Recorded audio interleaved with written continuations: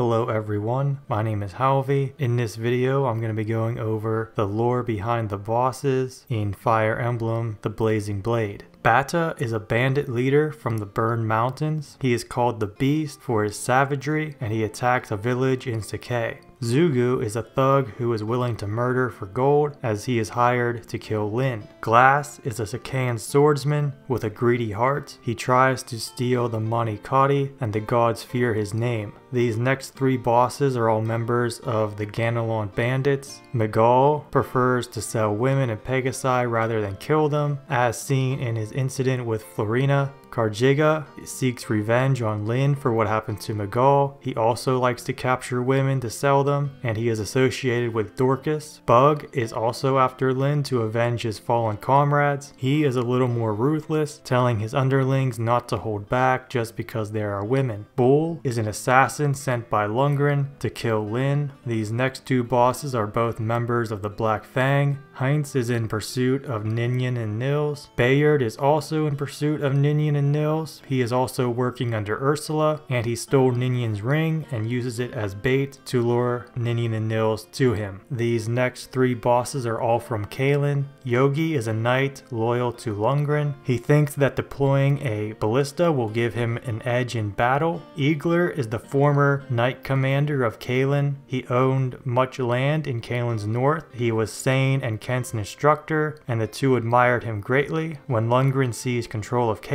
Eagler was aware of the true nature of events, including the poisoning of Hausen, but he still sided with Lundgren nonetheless. Kent and Sain theorized that he only served Lundgren because Lundgren was holding someone close to him hostage. Lundgren is the younger brother of Marquis Hausen of Caelin. When Hausen received news that his daughter Madelyn had a daughter named Lyn and that they were living in the Sacae Plains, he wanted to reunite and meet his granddaughter. Lundgren heard of this and saw Lyn as an obstacle to his succession of the Caelin throne, thus creating an inheritance dispute. Lundgren proceeds to send mercenary squads out to pursue and capture Lyn. As the mercenaries fail time and time again, Lundgren begins to poison Hausen so that he can inherit the throne sooner before Lyn can reach Caelin. He is able to trick the Caelin military into his service by making it look like the poisoning is just an illness and he is acting on Hausen's behalf. He brands Lyn an imposter and Kent and Sain as traitors. Groznyi is a Caelin bandit hoping to take advantage that a number of Pheraean knights, including the Marquis, have all disappeared, so he declares himself the new leader of a Pheraean village and demands the villagers to hand over all of their gold. Wire is a member of the Black Fang. He leads a sneak attack on Ostia Castle. Zagan is a Caelin bandit who fights for pleasure pleasure more than money. He is sent by Ephidel to scare Eliwood away from Santaruz, so he approaches Eliwood's army posing as a poor villager, but his ruse is quickly seen through by Marcus. Boies is a member of the Black Fang, working alongside Ephidel. He engages in battle with Eliwood and Hector in Santaruz, trying to stall for long enough time to ensure Helman's death. However, Helman is able to tell Eliwood where to go next in his dying breath. Puzon is a mercenary working with bandits from Caelin. He and his gang rob Merlinus and then try to kill him. Merlinus screams for help, and Eliwood and Hector intervene just in time to save him. Erik is the son of Marquis Darin of Laus. He first met Eliwood and Hector when they were all children, and as a child, Erik tried to get on the good sides of those he thought were or would be powerful, and he tried to make Eliwood, Hector, and other kids commit to a warrior's oath by cutting his palm so that they could all clasp hands and become blood brothers. In the present day, he ambushes Eliwood and Hector near Laus Castle, forcing them into battle. Sealen is a mercenary from Eubans' mercenary group, hired by Darin to retake Laus Castle after Erik's defeat. Bauker is a commander of the Imperial Guard of Laus. He managed to seize Caelin Castle and capture Marquis Hausen, but failed to capture Lyn. Bernard is the knight commander of Laus. He leads Laus's army inside Caelin's castle and takes a number of Caelin's soldiers captive, including Lucius and Raven.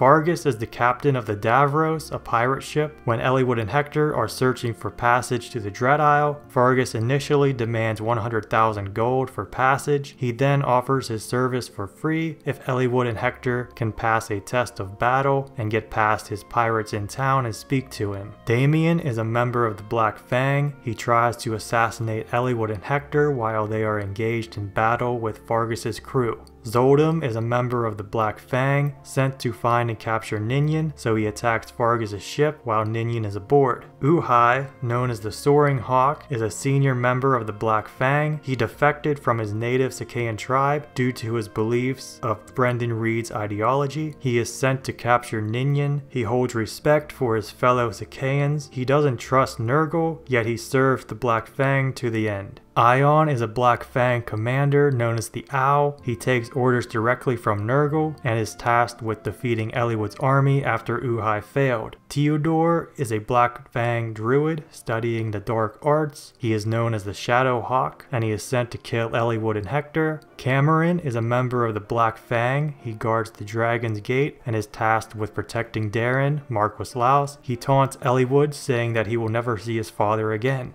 Darin is the Marquis of Laus. He works with Nergal and the Black Fang on promises of world domination. Darin wished to take control over the entire Lycian League, a position that is currently held by Ostia. He becomes involved with the Black Fang of Bern and became closely associated with Ephidel. He begins to plan out his rebellion against Ostia and tries to convince Helman of Santaruz and Elbert of Pherae to join him. Elbert refused, which led to his disappearance. Then Darin abandons Laus when Eliwood and Hector approach, leaving his son to die in the process. He then seizes Caelin Castle where Ephidel mortally wounds Hausen. He retreats once again to the Dread Isle where he makes his last stand defending the Dragon's Gate while Nergal attempts to summon a dragon. Oleg leads a group of Black Fang in an ambush on Eliwood right after they get back from the Dread Isle. Eubans is the leader of a band of mercenaries loyal to Marquis Laus. He attacks Eliwood and Hector while they are staying in an Ostian fort. He hopes to avenge Darin, and he thinks if he takes their heads, he can join the Black Fang and burn. Jasmine and Paul are brothers, leading a pack of bandits that terrorize the Nabata desert. They try to rob Pent of whatever the artifact is that he is searching for in the desert. Pascal is a former noble of Bern and a former member of the Black Fang's Four Fangs. He was stripped of his nobility by the king for slaughtering citizens that he invited into his castle. Then he joined the Black Fang, but was imprisoned by them for his excessive cruelty. He is released from prison imprisoned by Sonia to kill Eliwood and Hector. Vaida is a former commander of Bern. Prior to the events in-game, a Bern general concocted a fake rebellion and ordered Vaida's unit to kill the fake rebels, who were actually unarmed peasants. Vaida refused and attempted to stop the slaughter of innocents. Her whole unit was condemned to death by hanging for treason. Vita deserted the army and received the scar on her face during a battle in her escape. She winds up serving the Black Fang and Nergal powers up her spear and she is entrusted to kill Eliwood and Hector, however she grows tired of the battle and retreats. Kenneth is a Black Fang commander known as the Shrike. He enjoys seeing people suffer and believes gods are lies created by the weakness in all mankind. He tries to stall for time to ensure Zephiel's assassination and protect the Fire Emblem. Jerme is a member of the Black Fang known as the Death Kite. He used to be one of the Four Fangs but was replaced by Jaffar when Nergal takes control. He doesn't agree with Nergal but doesn't care as long as he gets to kill people. As he is a psychopath, he also stalls for time to ensure Zephiel's assassination and he protects the Fire Emblem. Maxime is a member of the Black Fang and a subordinate of Ursula. Ursula is one of the Black Fang's four fangs, known as the Blue Crow. When Ninian and Nils are running away from the Black Fang and Caelin, and when they first meet Lyn, Ursula is the one in charge of recapturing them and the theft of Ninian's ring. She then has other business to attend to and leaves the rest to her subordinates. Ursula is eventually given orders to complete Zephiel's assassination and dispose of the traitors Nino and Jaffar, who failed the initial attempt. She greatly respects protect Sonia and the Fang's law that failure means death. Sonia is one of Nergal's morphs who infiltrated the Black Fang. She is the adoptive mother of Nino, the wife of Brendan Reed, and stepmother of Linus and Lloyd. Twelve years prior to the game's events, Sonia and Nergal ambush the family of the most famed house of magic wielders in all of Lycia. Sonia kills the mother, the father, and the son, leaving only Nino alive. At Nergal's suggestion, she raises Nino as her own daughter, although treating her like trash. Years later, she started to get close to the Black Fang leader Brendan Reed, eventually marrying him, all to bring the Black Fang under Nergal's control. She manipulates Brendan and is able to order the Four Fangs to eliminate Eliwood. She is also the ringleader in the plot to assassinate Zephiel. She also kills Brendan, allowing Limstella to harvest his quintessence. Sonia is a morph who sees herself as perfection, and she has even deluded herself into believing that she is human. Lloyd and Linus are both one of the four fangs. Lloyd is known as the White Wolf and he is Brendan's eldest son. Linus is known as the Mad Dog and is Brendan's youngest son. Both are given the task of eliminating Eliwood and they are the first of the four fangs to encounter Eliwood's group near the Lycia Bern border. One of them will stay and fight while the other goes to report back to headquarters. The one to stay and fight is defeated by Eliwood and killed by Limstella and harvested for quintessence. The one who left to report will be later guarding the Shrine of Seals in Bern. Lloyd is more calm and level-headed, while Linus is rash and impulsive. Georg and Kaim are both spirit guardians. Georg watches over the Blazing Blade Durandal in an Ostian cavern, and Kaim watches over the Thunderaxe Armads in a cave in the Western Isles. Denning is a morph created by Nergal. He commands an army of morphs and invades Ostia Castle. It seems he was only created to deliver the message. This is the message from Lord Nergal. I await you on the Dread Isle. Limstella is a morph created by Nergal. Nergal claims Limstella is his masterpiece and his most powerful morph. Limstella serves directly under Nergal, going around collecting quintessence. Most of it comes from the strongest Black Fang members as they are defeated by Eliwood's army. Limstella, like most other morphs, is emotionless and eternally loyal to Nergal. Kishuna is one of Nergal's earlier creations, his 252nd morph, and the first morph to have emotions. Considered a failure by Nergal as he cannot fight or harvest quintessence, Kishuna is a magic seal who nullifies the use of magic near him. Brendan Reed is the founder and initial leader of the Black Fang, a mercenary and assassin guild based in Bern. Nine years prior to the game's events, he founded the Black Fang, which at this point was far less sinister than it was when Nergal takes control, as they mainly targeted nobles who abused their positions. Brendan and his sons were also known to treat Nino far better than what Sonia did. He is eventually killed by Sonia and harvested for quintessence by Limstella. He is then reanimated as a morph in the final battle.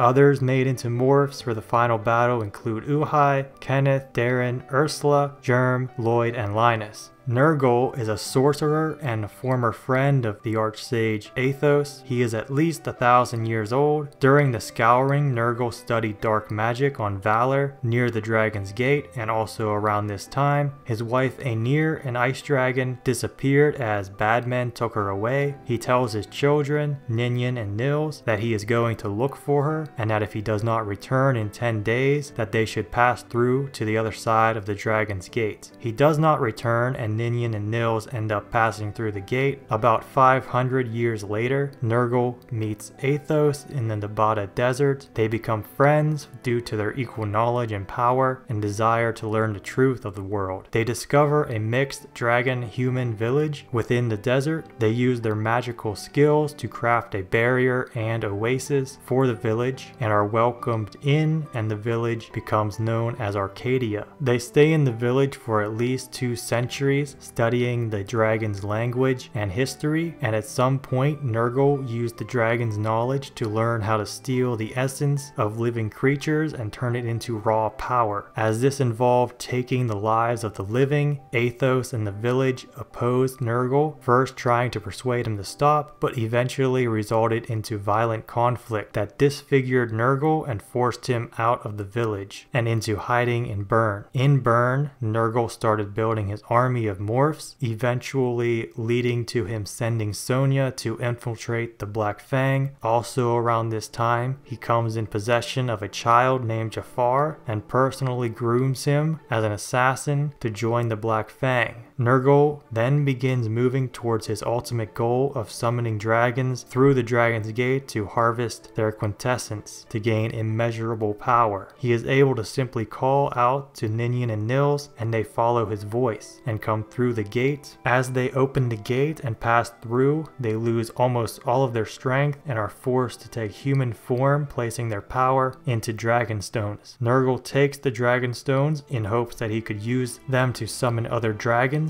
and he keeps Ninian and Nils imprisoned in case of needing them later to open the gate, as human hands are not capable of opening the gate. Ninian and Nils are able to escape but Nergal does get them back and re-imprisons them. Nergal used the Black Fang and his morph Ephidel to manipulate Darin into starting a rebellion in Lycia. A war would be an easy way to gather a lot of quintessence. This leads to Elbert being captured and taken to the Dread Isle due to Elbert and his knights having very high quality quintessence. Nergal brainwashes Ninian and uses Elbert's quintessence to open the Dragon's Gate and call a single dragon through. However, Nils is able to snap Ninian out of it, the gate closes, and the dragon is destroyed. Elbert is then able to wound Nergal, forcing him to flee. Nergal then tries to gather more quintessence in Bern, gaining King Desmond's favor with the Zephiel assassination plot. This fails, however, due to Eliwood's interference. Nergal then appears before Eliwood at the Shrine of Seals and takes Ninian back by force. Ninian escapes yet again, and in her true dragon form, she appears before Eliwood Eliwood and is slain by Durandal. Nergal appears again in front of Eliwood and tries to take Nils, but is attacked by Athos and Nergal shrugs off the attack and leaves without taking Nils. Nergal returns to the Dragon's Gate to prepare for the final battle and harvest quintessence from Eliwood and his army. The Fire Dragon, it was called through the Dragon's Gate as Nergal's dying act. Three dragons passed through in total, but two were killed by Ninian. And with all that said, that is the end of the video. If you enjoyed it, like, comment, subscribe, and have a great rest of your day.